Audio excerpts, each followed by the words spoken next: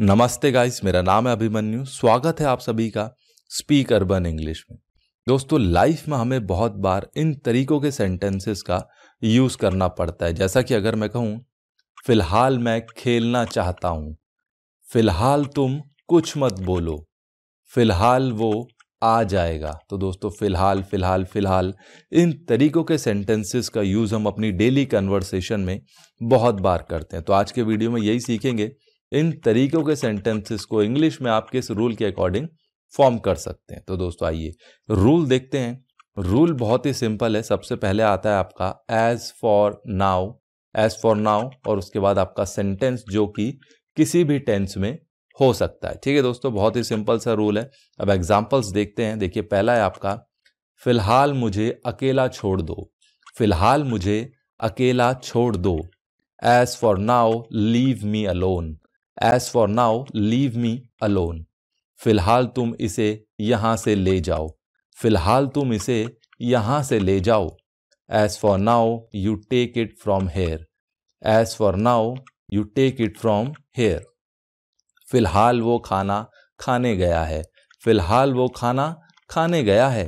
As for now he has gone to eat food as for now he has gone to eat food फ़िलहाल मैं सोना चाहता हूँ।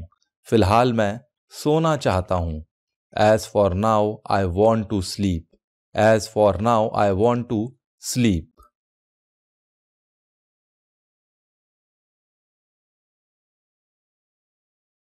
मज़े की बात तो यह है कि उसकी नौकरी लग गई। हैरानी की बात तो यह है कि वो फेल हो गया। हँसी की बात तो यह है कि उसकी शर्ट फट गई।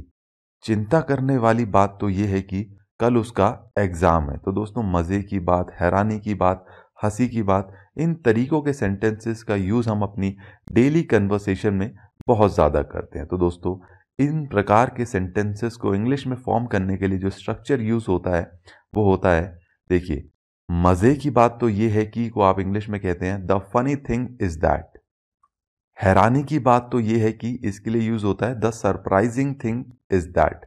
हँसी की बात तो ये है कि इसके लिए भी यूज़ होता है, the funny thing is that. और चिंता करने वाली बात तो ये है कि, the worrying thing is that. ठीक है दोस्तों, अब इसका रूल देखिएगा, बहुत ही सिंपल है।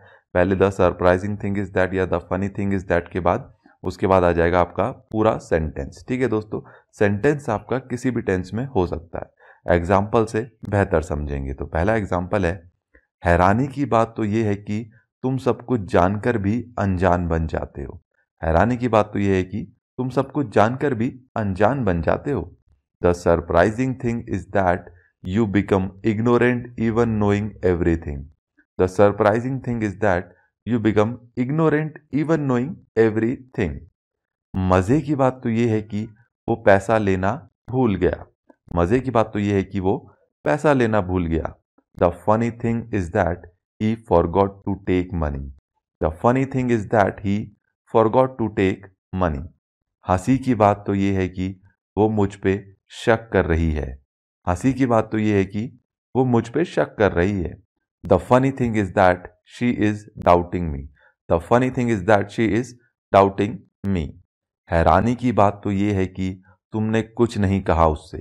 हैरानी की बात तो यह है कि तुमने कुछ नहीं कहा उससे। The surprising thing is that you didn't say anything to him the surprising thing is that you didn't say anything to him हैरानी की बात तो यह है कि उस टाइम वो घर पर था। हैरानी की बात तो यह है कि उस टाइम वो घर पर था। The surprising thing is that he was at home that time the surprising thing is that he was at home that time